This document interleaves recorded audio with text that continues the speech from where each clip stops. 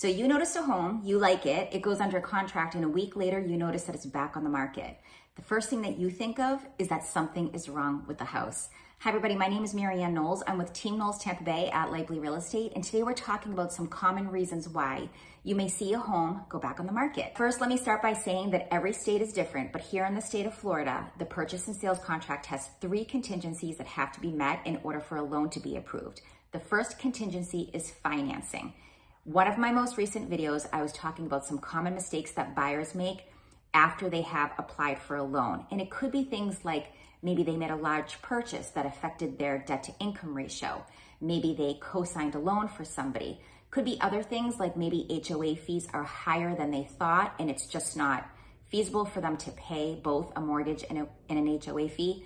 But for financing to fall through, unfortunately, it is common and it does cause the home to go back on the market. Second contingency is the inspection contingency. Now, when you're a buyer and you go under contract, you're gonna hire an inspector. They're gonna do a home inspection and any other type of inspection that you want done during your due diligence period.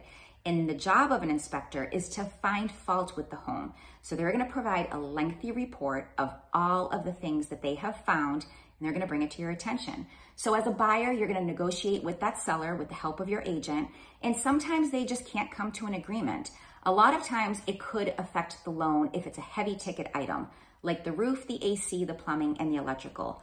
Those four things have to pass what's called a four point inspection in order for a buyer to obtain a loan. So it could be something as simple as the buyer and seller just couldn't come to an agreement and the home went back on the market.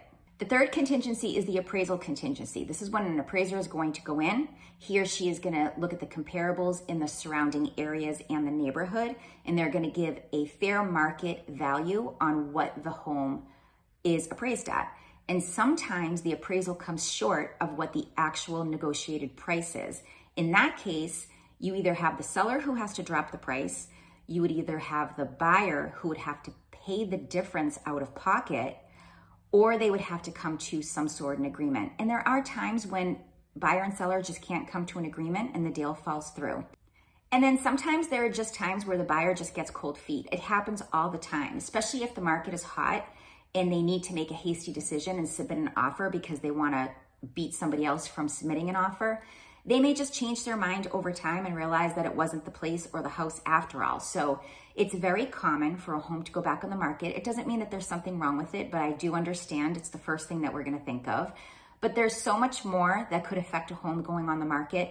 These are the most common. Please know I'm always happy to help. If you have any questions, just reach out and we'll chat. Take care.